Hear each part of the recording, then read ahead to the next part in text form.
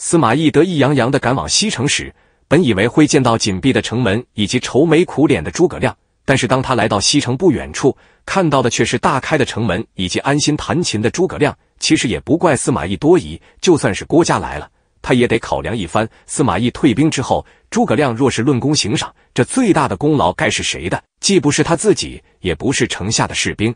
而是他身后的那两个小童。为什么说这两个小童的功劳最大？司马懿的撤军与他俩有什么关系？这里是单看世界，带你领略全球风云，探寻历史智慧。空城计是诸葛亮的经典战役，不费一兵一卒，只用一曲琴音便吓退司马懿十五万大军，说是神计也不为过。但是从最开始看，诸葛亮用出空城计也是迫不得已而为之。当时诸葛亮所在的西城，真的只剩下两千多个老弱病残了。若是诸葛亮不出奇招，肯定是命丧于此。但是诸葛亮出兵向来是不愿意用险招的。那么这城里为何会只剩下这么点人？大将和兵马都去哪里了？此时诸葛亮所处的西城其实并非前线，司马懿是突破了街亭的防御才过来的。在司马懿进军之后不久，西城中的诸葛亮便开始分派任务。此次需要镇守的地方叫街亭。诸葛亮就问众人：“有谁愿意自告奋勇去守街亭？”然后马谡站了出来。其实诸葛亮对马谡也是非常不放心的。马谡刚站出来，就不被诸葛亮看好，因为街亭之地并不是一座城池，守一处没有城池的地方，想来必然是一场恶战。诸葛亮评价马谡，虽然深通谋略，但是实战经验太少。街亭这个地方既没有城郭，也不是什么险要之地，让马谡去确实不太稳妥。但是马谡听了这话有点不服，他还跟诸葛亮争辩起来。马谡觉得自己熟读兵书，就一个街亭还能守不住？他还跟诸葛亮吹牛，别说是司马懿和张合来抢街亭，就算是曹睿他御驾亲征，这街亭我也能守住。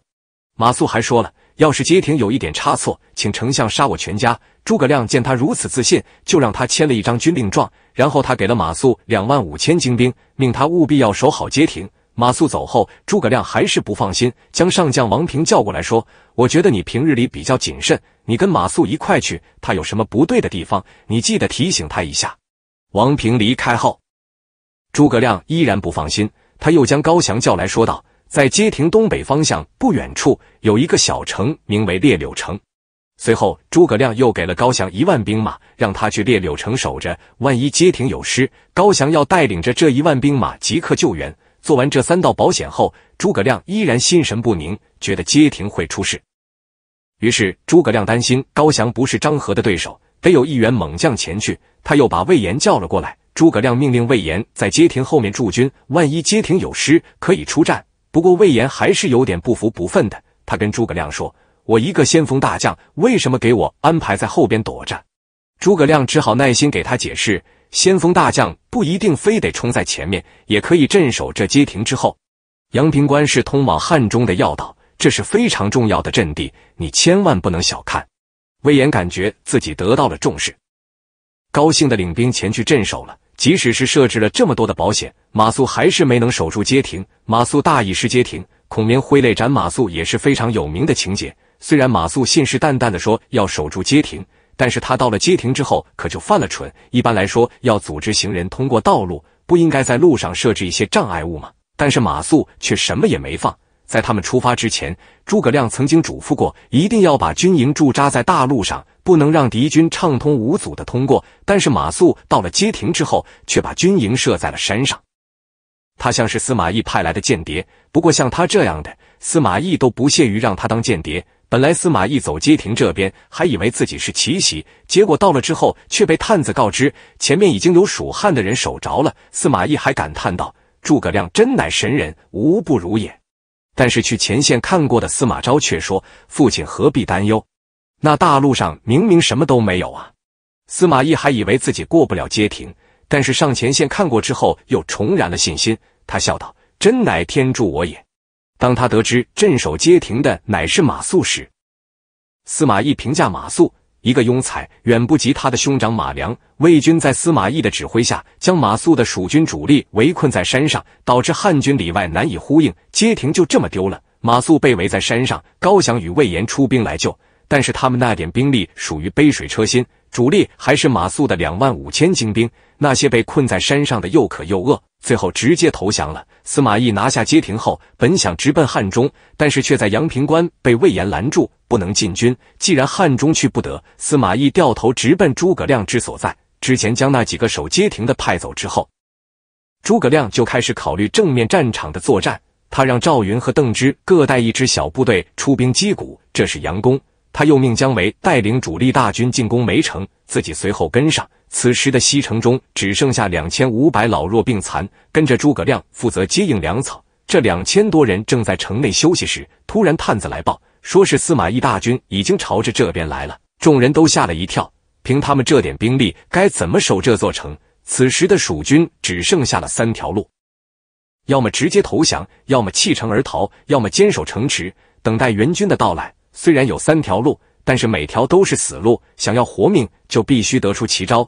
诸葛亮让众人安心，他自有办法退敌。诸葛亮从军营中选了一些岁数比较大的士兵，每个城门派去二十个，打扮成百姓，在城门口扫地。诸葛亮让众人一定要藏好，旌旗都得藏起来，人也不能出声。而诸葛亮自己呢？他穿上好看的衣服，拿上自己的琴，又从城中找了两个小童，一人拿上宝剑，一人拿上拂尘，三人一块在城门楼上等着司马懿的到来。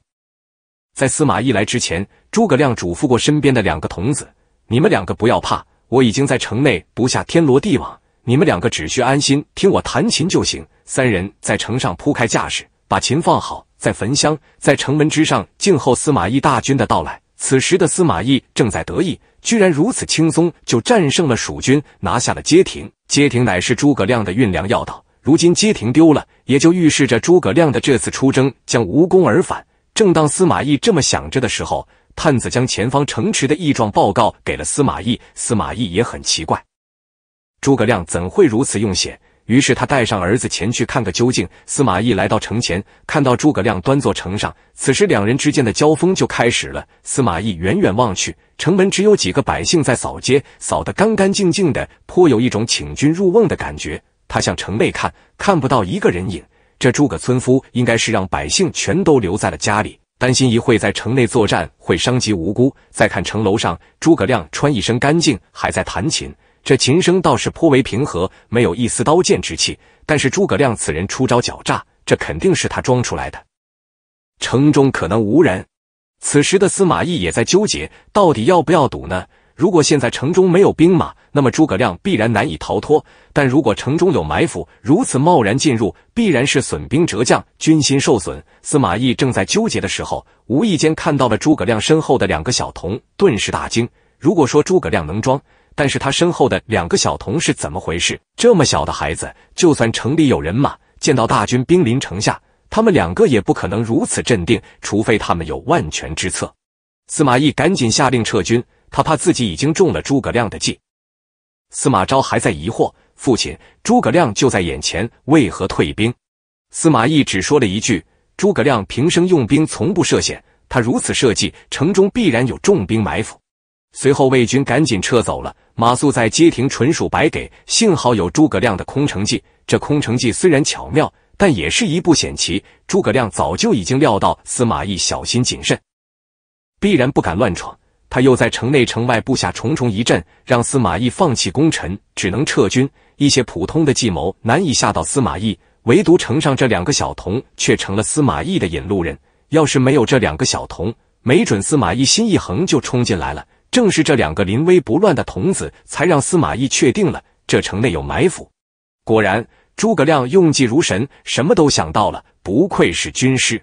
马谡此人熟读兵法，心思缜密，谋略心计都是一等一的好。但是唯有一点，他为人太过自负，不能善于听取他人的意见，甚至有些时候刚愎自用，小肚鸡肠。临行前，诸葛亮千叮咛万嘱咐道：“街亭这块地方虽然很小。”但是它是通往汉中最要紧的咽喉所在，你一定要镇守住这里，否则我军必败。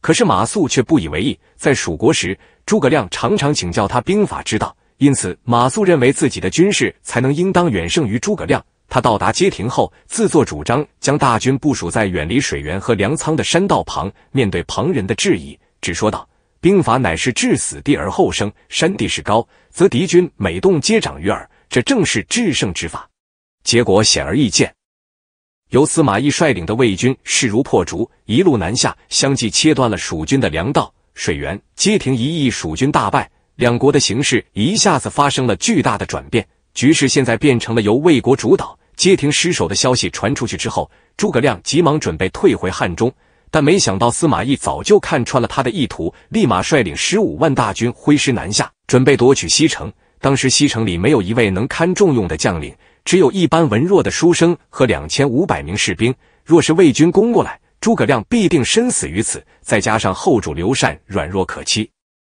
容易被奸臣左右，国内朝局混乱，公私不分，军备废弛，法度无常。如此一来，蜀国才是真正陷入了风雨飘摇、群龙无首的凄惨境地。一时间，西城内人心惶惶，惊恐万分。用《出师表》当中的一句话来形容，就是“此城危急存亡之秋也”。魏军前进的速度很快，大约不到半天的时间就会逼近西城。若是在这段时间里想不出什么对策，那后果简直不堪设想。此时城内只有两千五百士兵，而司马懿有十五万大军。如果要是两军对垒，硬碰硬的话，诸葛亮根本没有胜算，甚至都坚持不了一炷香的时间。于是有人就劝说诸葛亮，让他带着一部分精锐赶紧离开西城。魏国的大军行动慢，能拖延他们几日，或许可以等到朝廷出兵支援。根据当时的情况来说，弃城而逃这种做法其实不失为一种上策。可是诸葛亮却有别的考量，他说道。西城附近地势平坦，且农户较少。若是逃离，则不好掩盖踪迹。况且司马懿为人狠辣无情，要是他发现我离开了西城，会不会拿百姓和当地的官员开刀呢？所以诸葛亮坚决不同意逃跑，这种想法便搁置了下来。